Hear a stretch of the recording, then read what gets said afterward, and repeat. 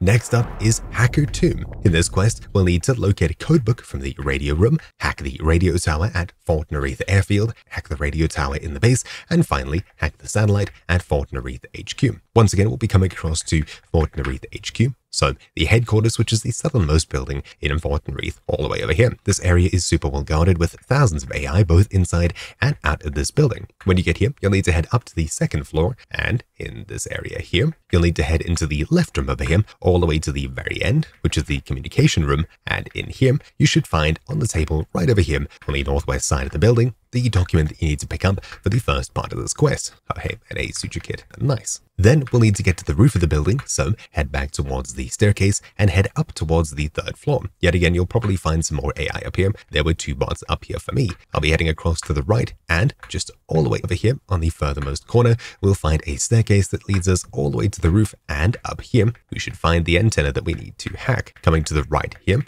so the, let's see, eastmost corner of this building on the roof, you'll find the satellite that you need to come and hit F on, and just like that, you should have the second part of this mission complete, which was hacking the satellite. Now, what we'll need to do next is head across to this big tower over here. You could, of course, do this before. If you happen to push in from this area, I won't be able to make it down there without surviving, probably. So I'll tell you what you need to do from here. There's a gate which you can enter in over here and head across to the main tower bed, you'll find an entrance over here, and just next to it is this little panel that looks like an electrical box where the door should be open. You'll be running up to that and hitting F, and that should complete the third part of the mission, which is tapping into the power. Now finally, once again, you'll be doing pretty much the same exact thing that we just did, except you'll be doing it all the way down here, just to the south of fuel storage, so all the way pretty much exactly here, where once again there is another tower exactly like this that we'll need to do the exact same thing on. So let's see, all the way over there, you'll find once again a power panel inside of the fenced area, hit F on it, and bam, just like that, you'll have all four parts of this mission complete. There's quite a bit of running around, and of course, they are bots sparsely peppered all over here. They are all very angry, to say the absolute least,